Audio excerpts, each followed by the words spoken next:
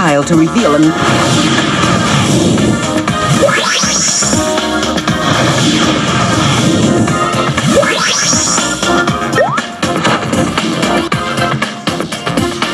Let's go to your free spin.